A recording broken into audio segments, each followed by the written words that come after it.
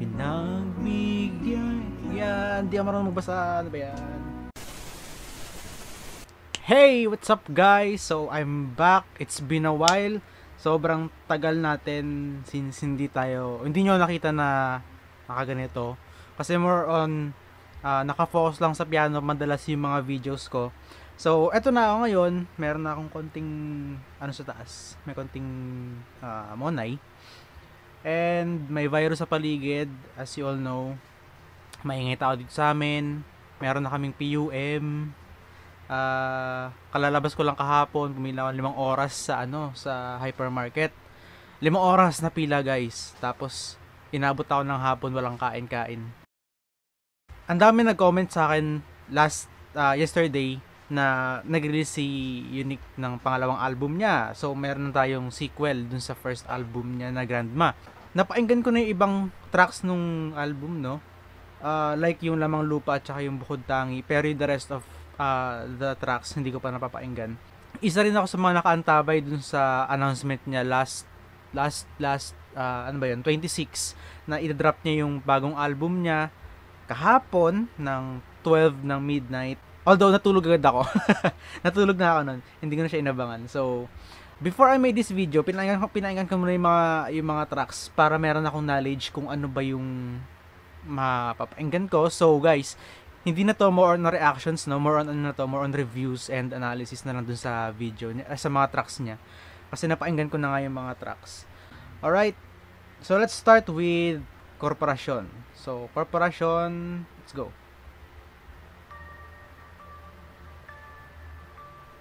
sa ating volume. By the way, uh, nga pala, just to remind everyone na yung hindi pa napapainggan yung buong album, anim dun sa album niya ay may lyrics, samantalang dalawa ay parang ano lang, parang filler track lang dun sa album, no? For example, itong Corporation, uh, pinakinggan ko siya, more on ano lang siya, parang soundtrack na instrumental.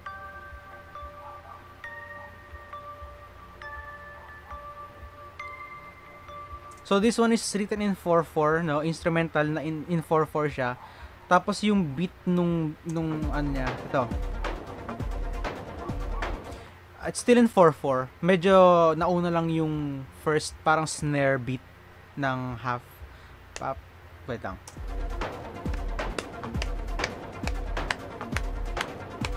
Yun. So parang nauna siya ng half beat.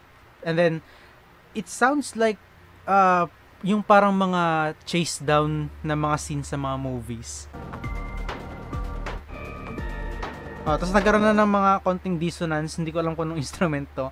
Pero part siya ng synthesizer, I believe. Yes. May may mga chords din na nangyari dun sa track. Uh, let me decipher it for you guys. Hindi ako perfect pitch, ha? Ah, relative pitch lang ako. Once na nalaman ko kung ano yung home chord ng isang kanta, pwede ko na ma-detect in a pop setting like uh, yung mga pop music ngayon, madali kasing ano eh, madaling alamin yung mga pinatutunguhan ng chords eh. So let's say let's ano, let's decipher this one. So ano lang siya, uh, in a minor um minor mode. So let's say 1 7 6 5 chord. Yun lang siya. So Teka, tignan ko sa piano ha. By the way, I got may ano dito, papercraft, gumagawa ko ng tuta. Tsaka itong Gundam. Puro papel lang yan guys. Tapos meron pa dito tuta. Ayan. So this one is in G minor. Kakakapa ko lang. G minor, F, E flat, and D. Yun lang yung chords niya, paulit-ulit lang yun guys. So, that's Corporation, that's track number 1. Number 2, Dalo, Dambuhala, sorry. Oh. Yes. So, sa intro pa lang, alam nyo ng old style na rock and roll yung yung kanta. No? Kasi yung riff na ginagawa nung uh, nung guitar goes like this sa piano. Wait, ano nga bang kinon? oh yeah, that's ano.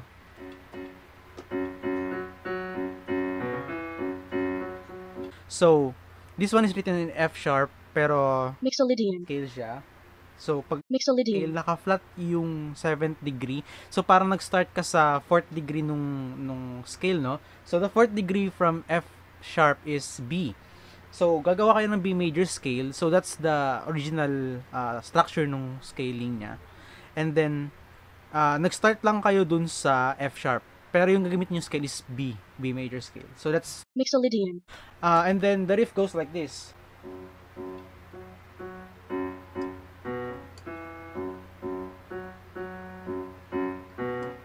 Ko alam kung rinig niyo yan ha. So, and then, kita ba? Ayun.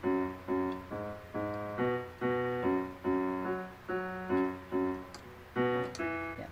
So, sa mga nag-aaral ng gitara, yun, try nyo kunin yung notes na yun. Madali lang siyang kapain. Yun, ito yung maganda sa mga, ano, sa mga kanta ni Unique. Madali siyang pag-aralan, madali siyang kantahin. So, if you rate it 1 out of 1 to 10, kung gaano siya kadali, uh, I would say it's an 8 out of 10. Mga ganong banda.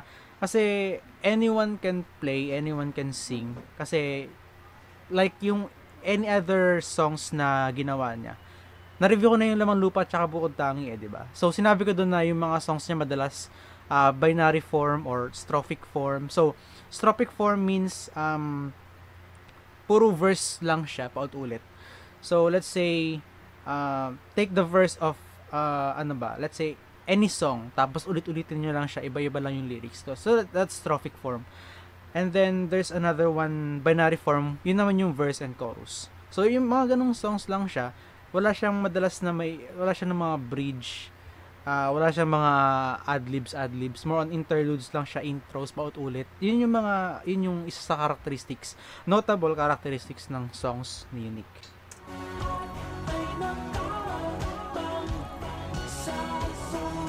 lyrics, lyrics. Okay, let's pause. Ito yung mahirap sa music genre ng ano ng YouTube. Ah, kahit educational purposes yung ginagawa natin, no, nakaka-copyright pa din tayo kasi we're ano eh, we're exploiting yung music ng iba without their permission. So, okay lang, sige lang, bahala na. so ito yung lyrics, ah, Dambuhala. Lahat ay nakaabang sa tuwing ako ay dumaraan. Ang matipunong kaanyuan ko'y patingal lang pinagmamasdan. Wala nang makalig, makaliligtas. Sa mga yabag ko'y magwawakas. Abot man ang aking kamay. Okay, so, for my interpretation, ah, itong kanta na to ay para sa mga politicians. Yun. Hindi ko alam kung ano yung interpretation niya, pero sa akin, it's for politicians na pff, mga ano, malalaking ulo, mga buhaya, yan, gobyerno, no. Tapos yung sa Grand album din niya, meron din siya mga ganong tracks na pinapatamaan na yung mga nasa politiko. So, Dambuhala, yeah, good track. Ah, ano pa ba pwede ko masabi dito? Repetitive lang naman siya eh. Ah, it's based dun sa ano, based dun sa lyric form niya. It's just strophic. So, yun. Ah, it's strophic form, AAA, puro verse. And then repetitive yung yung intro, yung riff niya paulit-ulit lang. And then yeah, yun. Let's let's move sa Bukod Tangi. Ah, Bukod Tangi at Lamang Lupa, skip na natin to kasi na-review ko na yan before. Ah, check nyo na lang yung link dito sa video. Ano saan ba? Dito sa taas. Ah, next, let's head to Delubyo. Naririnig ko marami daw kalokohan dito sa kanta na to.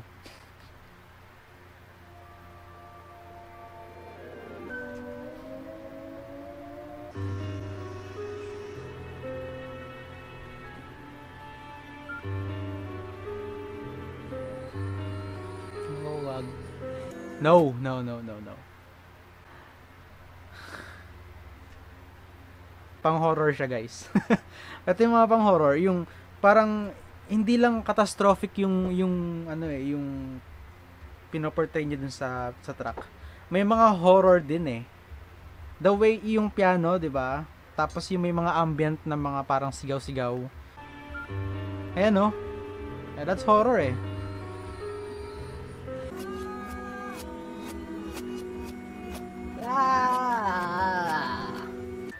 Pwede ko na ba skip to guys? Ewan ko, hindi ko alam. Ayaw kong pakinggan yung buong track. Ako pa naman yung tipong sobrang sensitive sa sound. Like, uh, pag nakarinig lang ako ng bass, like in a dark room, tapos makarinig ako ng growling na bass na tunog. Hindi yung bass na instrument guys, ah. basta yung ma- ma-bass yung sound niya, tapos growling. Parang ang dating sa akin is parang may may kilabot factor na agad yung sound. Kaya ang nangyayari parang nag alis agad ako para lang hindi ko marinig yung tunog. Pag ganun, basta ganun. Ah... uy, ano to? Hidden trap? Catastrophic din siya guys kasi may mga narinig kayong ano eh. Eh, yung mga noises na rin narinig yung sa labas. Magugunong na yung mundo kung ano yung ginagawa ng tao ngayon. Parang it will lead to the ah, ano ba, destruction ng earth. Yan, nagkaroon tayo ng technology, tapos yung mga pollution na nangyari sa paligid, dahil dala ng mga sasakyan, yung mga ganun. Pero ito, itong part na to sa may 3 minute mark, ano tong piano dito guys? Someone ah, comment down below kung ano yung narinig yung part na to. So, yun lang. And then, ano pa ba?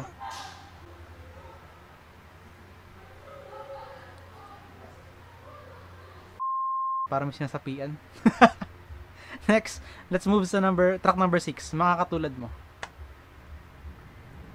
Hanapin lyrics. Yes!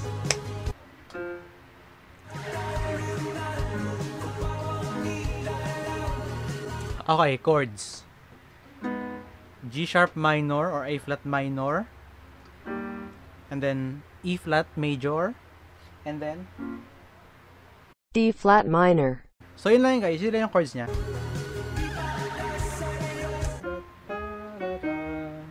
Kunin ko lang yung intro.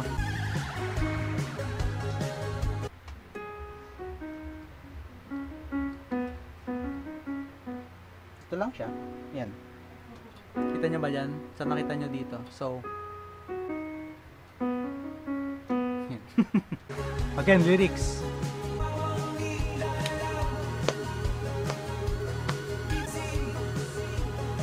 Okay, let's, let's review the lyrics. Ikaw ay talunan, kawawang nilalang, di para sa'yo ang katanyagan. Excuse. Mga katulad mo ay kulang sa pansin. Mga katulad mo ay walang mararating. Kulang, binabalik ko lang, ikaw ay talunan. So, interpret guys, comments now.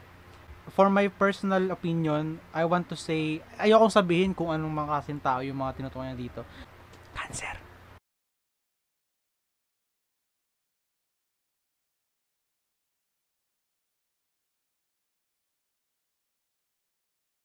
Next track, pahinga.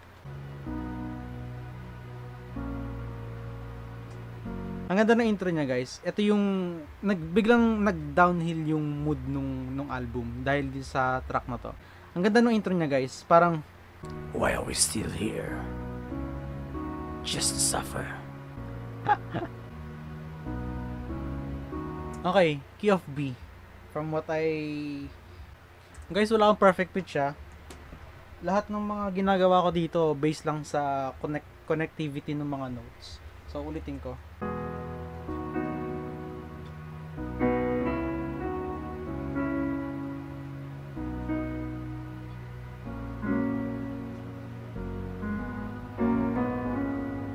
Okay, sa mga gustong i-play yung intro, ito lang siya. Ito yung melody.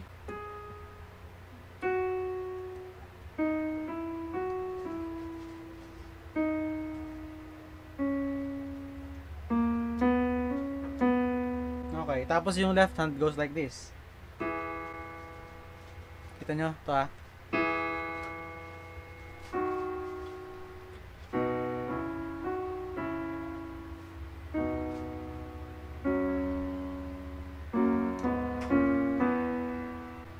Gagawa na lang ako ng ano, nagagawa na lang ng tutorial video para ma-play nyo siya. So, pahinga. Ito yung nakaka-relax nung ano, nakaka-relax yung ambient ng ambient ng song. Pahinga, unique salangka. lyrics.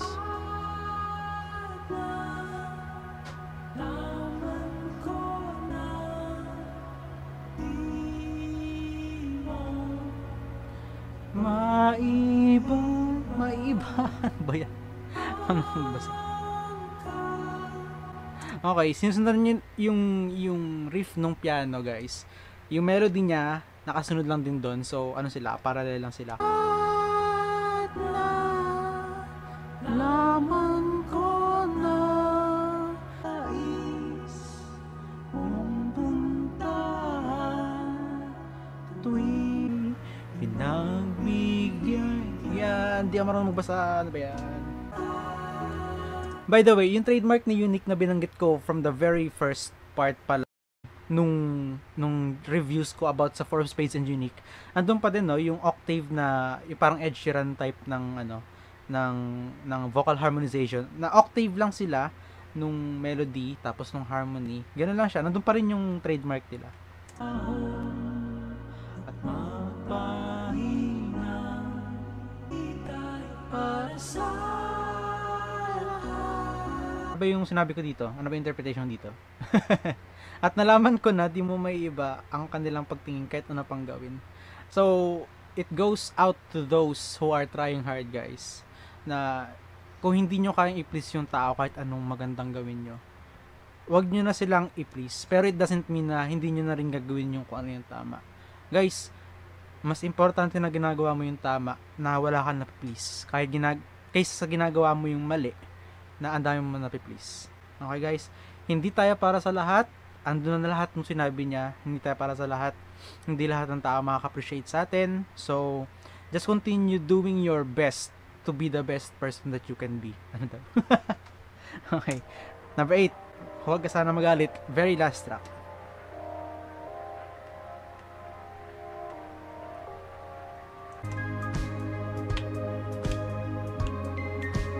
Oh, nice chord.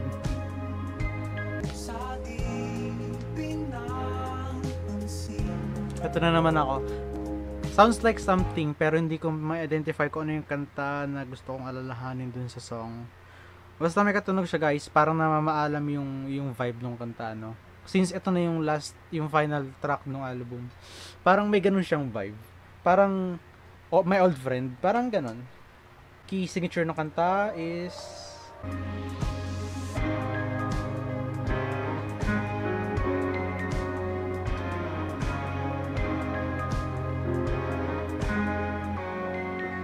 Okay, so G flat, ah G flat, G sharp or A flat, tapos napunta ng G flat or F sharp, tapos that's D flat over F. Yun lang yung chords niya guys. So may, ang dating is parang Mixolydian. mode na naman. So naka-flat ulit yung 7th, 7th degree nung scale. So like do re mi fa sol la T flat instead of T then the do. So yun lang siya.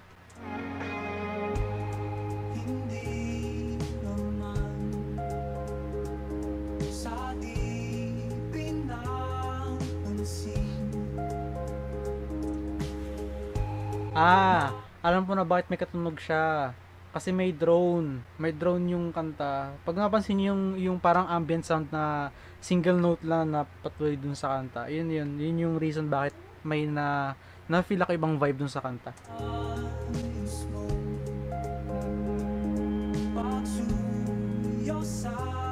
So, yung melody niya guys, same, paulit lang siya, repetitive.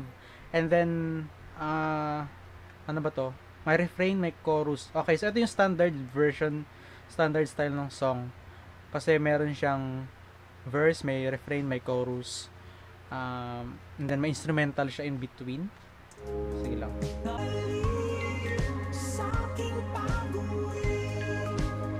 Ang ganda ng chord. Sobrang fan ako ng mga ganong chord, guys. Yung 1, tapos mag 7 flat. Yan, oh. Expect sana magiging ano siya eh, magiging 4. Ayan. Tapos, something like, yan.